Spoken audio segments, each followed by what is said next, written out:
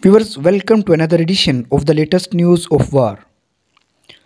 Viewers, the dying regime of Abiy Ahmed has in the early morning hours of 30 of November has bombed the Tekeze hydroelectric dam.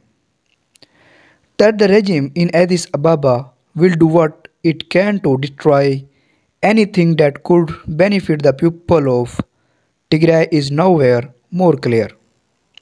The spokesman of the Tigray government, Mr. Getachew Reda says that the Ethiopian planes bombed the Tekeze hydroelectric dam. Viewers, Ethiopia using Iranian, Chinese, Turkish drones bombed the Tekeze hydroelectric power today.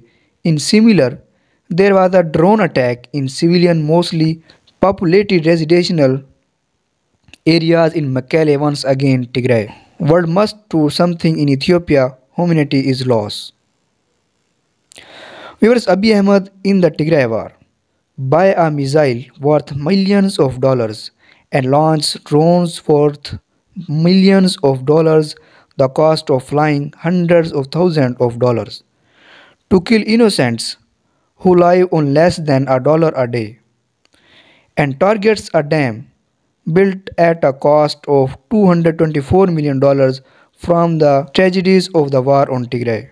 On the other hand, according to the sources, a strong war between Sudan and Ethiopia army has started again in the release of the two countries, especially Al-Fashaka. This month, the two sides fought against Al-Fashaka as their two governments claimed. Ethiopia and Sudan have been arguing over land for a long time, but another issue has come out regarding the war going on in Ethiopia. Sudan and Egypt have become very clear when Ethiopia is helping Turkey and Iran.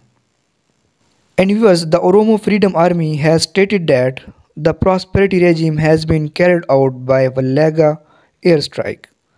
The Oromo Freedom Army international spokesman has stated that the airstrike in East Wallaga zone has been broken.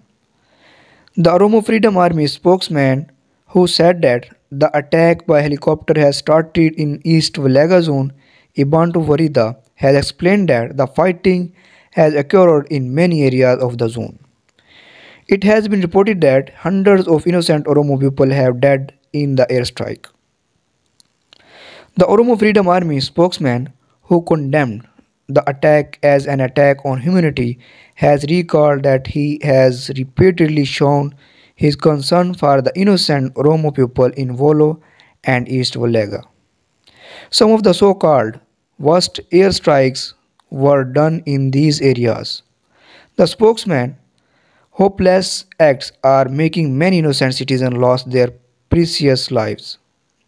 It should not be forgotten that at least 71 citizens have been killed by the drone attack on Oromo. It will also be remembered that many Oromo people were killed, displaced and destroyed their homes by the Amhara region armed group Fano in East Wollo zone Kiramu Woreda. So this is the latest update about it. For more latest report, please subscribe my YouTube channel. Thanks for watching.